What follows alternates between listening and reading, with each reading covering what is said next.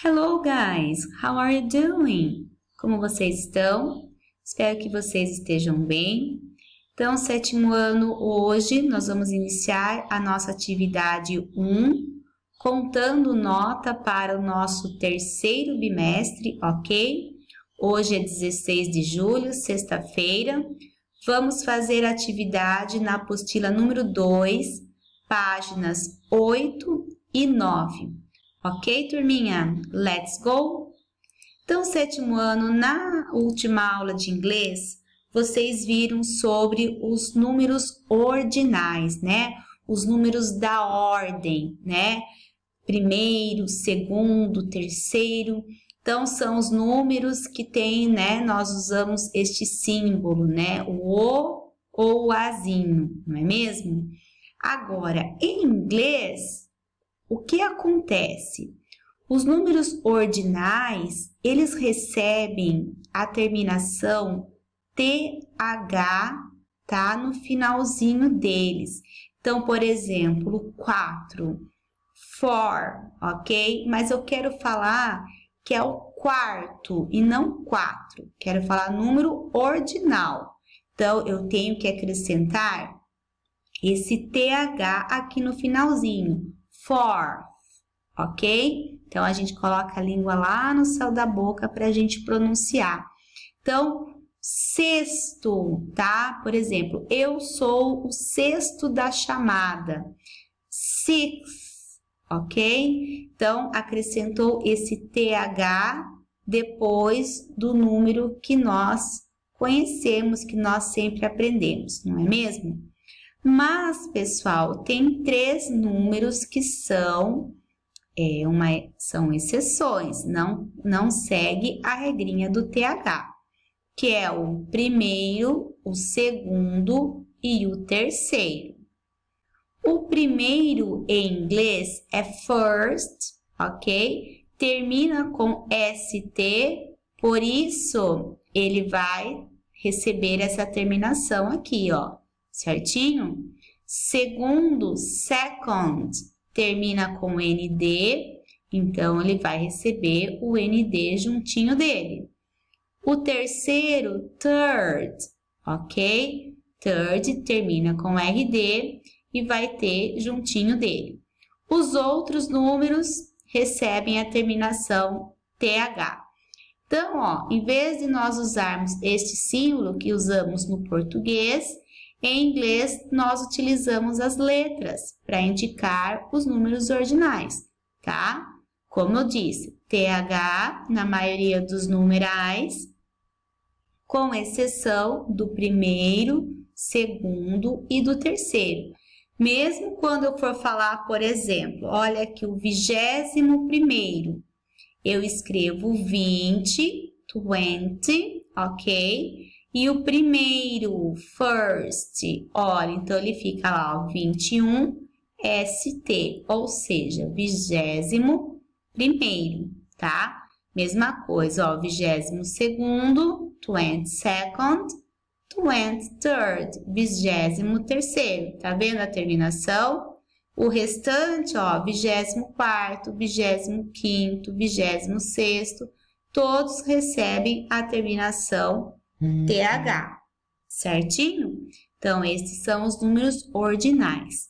Então, para a gente entender melhor, nós temos um exercício aí na apostila da página 8, falando sobre os signos dos zodíacos, né? Qual é o primeiro signo, segundo, terceiro e de que mês a mês eles vão. Vamos lá, então? Então, aqui nós temos o nome do signo, este primeiro número, pessoal, é o mês. Como vocês sabem, em inglês, o mês vem antes do dia, é ao contrário do português. Então, por exemplo, eu falo hoje é 16 de julho, tá? Em inglês, o mês vem primeiro e depois o dia, tá? Então, aqui é o mês, no caso, Aries eu tenho mês 3, que é March, ok? 21, 21st, até o mês. Que mês? April. Mês 4 é abril até o 19 de abril. 90s. Então é o seguinte, eu vou escrever o nome do signo is from. Esse is from quer dizer o quê? Que ele vai, né? Ele inicia de março até abril. A origem dele, né? Onde, que tempo ele permanece, certo? Então, vamos lá fazer a letra B agora. Taurus. Olha só. Taurus, ele vai. Que mês é o mês 4? É o mês de abril. Ele vai, então, de 20 de abril até to 20 do mês 5. Mês 5 é o mês de maio. Então, como vai ficar isso em inglês? Taurus is from April 20th. Ó, 20 com TH, certo? Então, até o vigésimo dia de abril, to até May 20. Então, até vigésimo dia do mês de maio, May. Lembrando, pessoal, que o mês em inglês você deve escrever sempre com letra maiúscula, ok? Letra C, Gemini. Gemini vai do mês 5, que é o mês de maio, até o mês 6, que é junho. Então, como que vai ficar? Gemini is from May 21st, olha só, vigésimo primeiro e tenho que pôr o S e o T, ok? Porque, ó, primeiro, segundo e terceiro foge da regrinha do TH. To June, até junho 21st, até o vigésimo primeiro dia do mês de junho, ok? Sempre colocando mês com letra maiúscula. Agora vamos para Cancer. Cancer vai do mês 6 para o mês 7. Mês 6 é junho e mês 7, julho. Então, vai ficar Cancer is from June 22nd, ó, ND, ok? Segundo, second, to July 22nd, até julho, vigésimo segundo dia do mês de julho. Então, olha só, primeiro e segundo são diferentes. Agora, Leo, Vai, leão. Leão são as pessoas que nascem aqui, ó. Mês 7, julho, mês 8 de agosto. Então, entre os dias 23 de julho a 22 de agosto. Então, Leo is from July 23rd Olha só, o terceiro é RD, porque, olha aqui, third, ok?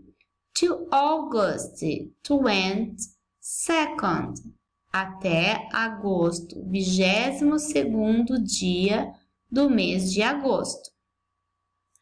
Virgo is from August 23rd to September 22nd. Então, Virgem vai de do 23º dia do mês de agosto até o 22º dia do mês de setembro. September. Libra. Libra está no mês 9 e no mês 10. September e October. Libra is from September 23rd, ok? Então, você vai colocar o 23 RD, ou seja, é o 23º dia do mês de setembro, to até o vigésimo terceiro dia do mês de outubro. 23rd, ok? RD. Scorpion, ele vai do mês 10, October, até o mês 11, tá? Até o mês de November. Então, Scorpion is from October 24 to November 21st. Sagittarius is from November 22nd to December 21st. Então, estão vendo? Eu sempre pego o mês e depois a data e coloco como número ordinal, certo? Capricorn is from December, tá? Mês 12, December 22nd to January, até o primeiro mês 19. Olha, o 19 já voltou com o TH. Por quê? Porque todos recebem a terminação TH, menos o primeiro, o segundo e o terceiro, certo? Aquarius is from January 20th to February 19. E por último, Pisces is from February 20th to March 20th. Então, ó, fevereiro a março, vigésimo dia, ok? Qualquer coisa, sétimo ano, você dá pausa no vídeo para você copiar certinho e prestando atenção sempre na terminação do seu número ordinal, ok? Então, agora, continuando a número 3, está perguntando assim para você. What sign are you? Que signo você é? My birthday is on May 21st, so I'm Gemini. What about you? Se o meu aniversário é dia 21 de maio, então eu sou de Gêmeos. E você?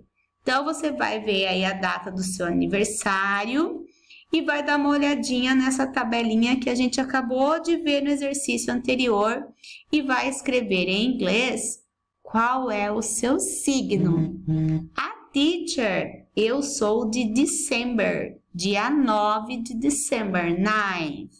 Então, eu sou Sagittarius. Então, você vai escrever você aqui, ok? Continuando o sétimo ano, na página 9, também vai ficar uma homework para vocês. Vocês já ouviram falar dos signos dos signos é, chinês, tá? O Chinese Zodiac. Então, os chineses, né, a astrologia chinesa, ela segue um outro calendário zodíaco e eles utilizam os animais, tá? Para marcar aí os, os anos dos signos, ok? Então, olha aqui uma curiosidade para vocês que tá aí. A astrologia chinesa é baseada no calendário lunar, cujos ciclos duram 12 anos.